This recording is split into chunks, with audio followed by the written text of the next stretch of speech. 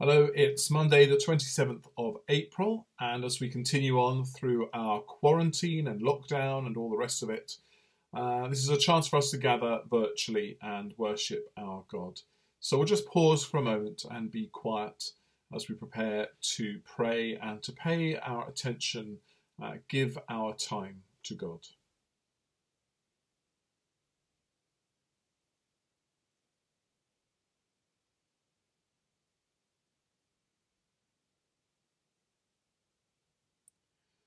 The Lord Almighty grant us a quiet night and a perfect end. Amen. Our help is in the name of the Lord, who made heaven and earth. We pause for a moment of reflection uh, of what has happened in the last day or uh, the last few days perhaps, and bring all of our burdens and our sins before our Heavenly Father who loves us.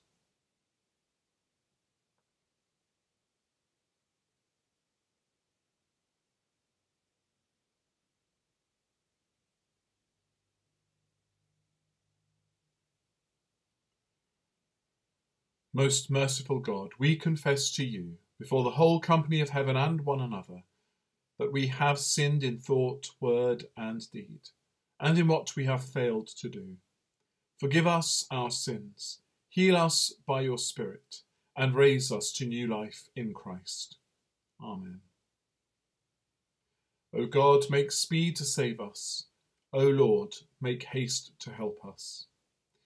Glory to the Father, and to the Son, and to the Holy Spirit, as it was in the beginning, is now, and shall be forever. Amen. Alleluia. The psalm appointed for this evening is Psalm 61. Hear my crying, O God, and listen to my prayer. From the end of the earth I call to you with fainting heart. O set me on the rock that is higher than I. For you are my refuge, a strong tower against the enemy. Let me dwell in your tent forever, and take refuge under the cover of your wings. For you, O God, will hear my vows. You will grant the request of those who fear your name. You will add length of days to the life of the king, that his years may endure throughout all generations. May he sit enthroned before God forever. May steadfast love and truth watch over him. So will I always sing praise to your name, and day by day fulfill my vows. Glory to the Father, and to the Son, and to the Holy Spirit, as it was in the beginning, is now, and shall be forever. Amen.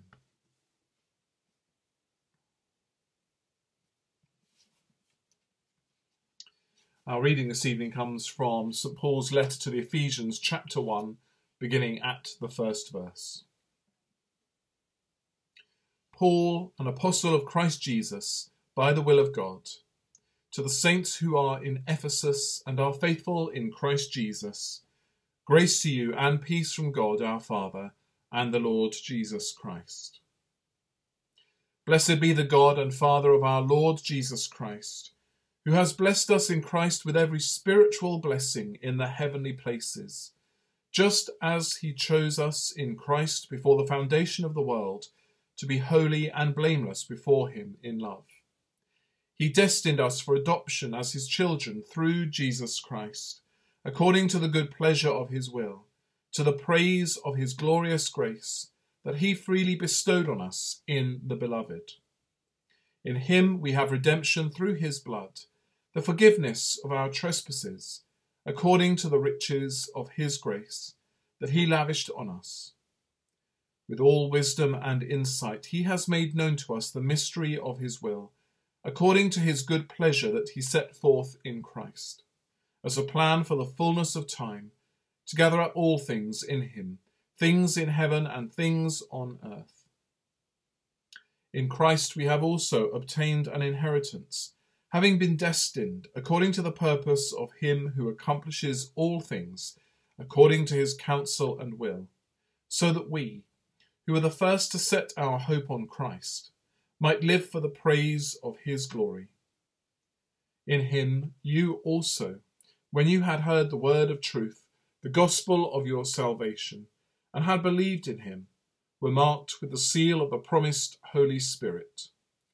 This is the pledge of our inheritance towards redemption as God's own people to the praise of his glory.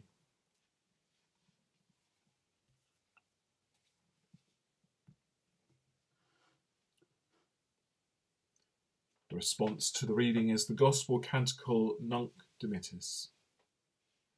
The Lord is risen, as he promised to you. Now, Lord, you let your servant go in peace. Your word has been fulfilled. My own eyes have seen the salvation which you have prepared in the sight of every people, a light to reveal you to the nations and the glory of your people Israel. Glory to the Father, and to the Son, and to the Holy Spirit, as it was in the beginning, is now, and shall be forever. Amen. The Lord is risen, as he promised to you. We come now to our reflection on one of the sayings of the Desert Fathers. A brother asked one of the elders, how does fear of the Lord get into a man? And the elder said, If a man have humility and poverty, and judge not another, that is how fear of the Lord gets into him. Those who seek after God generally do want to be transformed from what they have been. They know that life without God is far from perfect, but they, we, are on a journey towards God. However, so often we think, and to be honest, so often we've been taught, that it's about getting more, getting something, acquiring something. It's about being better, wiser, shinier, and so on. Not so. The Desert Fathers, in many places, including this one, remind us that the path is humility, remembering you are but dust, poverty, seeing the futility of thinking that you own anything, and non judgmentalism, understanding that it is your heart that needs to be redeemed. In other words, the path is downwards, not upwards. That is the inner logic of the kingdom of God. To live, you must die. To breathe the Spirit, you must drown in the waters of baptism. To be free, you must become a slave of Christ. Until we let go of the belief that Christianity is about ascent, riches, success, power, we cannot experience the descent, humility, poverty, slavery to Christ into the awesome abyss of God's love. Some words from Scripture. Jesus said, Whoever does not carry their cross and follow me cannot be my disciple.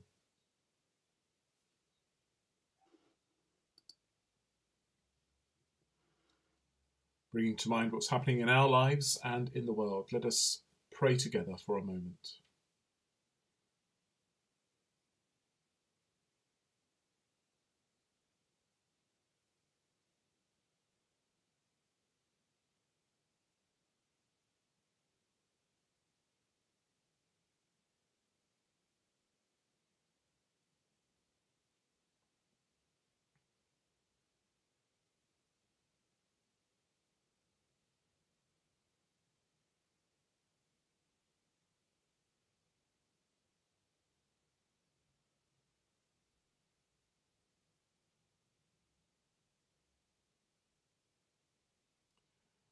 Almighty Father, who in your great mercy gladdened the disciples with the sight of the risen Lord, give us such knowledge of his presence with us that we may be strengthened and sustained by his risen life, and serve you continually in righteousness and truth.